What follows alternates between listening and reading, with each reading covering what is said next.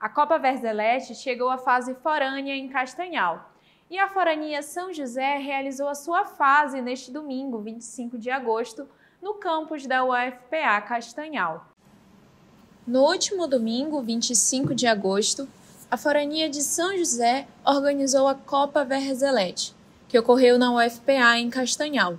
Este evento já é tradicional entre os jovens e agora entrou em sua fase forânea, reunindo diversas paróquias para um dia repleto de esportes e confraternização. Durante a manhã, a disputa se concentrou na modalidade de futsal e pela tarde no vôlei, onde os jovens puderam demonstrar suas habilidades e competir em um clima de amizade e respeito. Estiveram presentes as equipes das paróquias Cristo Rei, Santa Terezinha, Cristo Jovem, Santana e João Paulo II, que trouxeram energia e entusiasmo para o evento. A Copa Verzelete segue como um importante espaço de integração entre os jovens das diferentes comunidades, fortalecendo laços e promovendo o espírito esportivo. A Copa Verzelete esse ano também tem como intuito arrecadar fundos para doar a construção do Hospital Abá.